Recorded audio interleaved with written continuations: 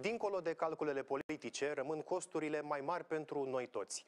De exemplu, pentru un apartament cu trei camere în București, în loc de un impozit de 200 de lei pe an, vom avea de plătit 300 de lei pe an. În timp ce în Târgu Jiu, de exemplu, pentru un apartament cu două camere ar urma să se plătească cu 84 de lei mai mult decât în prezent. Iar în Timișoara, pentru o garsonieră, impozitul ar crește cu aproximativ 50 de lei. Banii din locuințe ajung la primării. Andreea, nu e așa? Vorbim despre majorarea taxelor. Așa este, Mircea.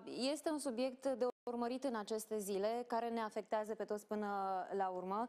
Banii din impozitul pe locuințe, așa cum spuneai și tu, ajung la primărie, iar decizia de majorare a taxelor a fi, de fapt, un ajutor pentru autoritățile locale să strângă mai mulți bani de la buget. Deși ministrul de finanțe spune că edilii au fost consultați înainte de a propune creșterea bazei de impozitare, aceștia neagă.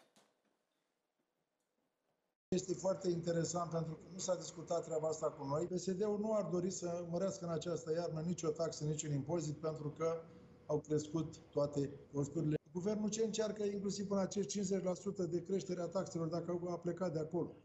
Ca să nu mai stai cu mâna întinsă la guvern. Așteptăm această creștere de 50%. Eu nu cred că e fezabil. Noi de obicei creștem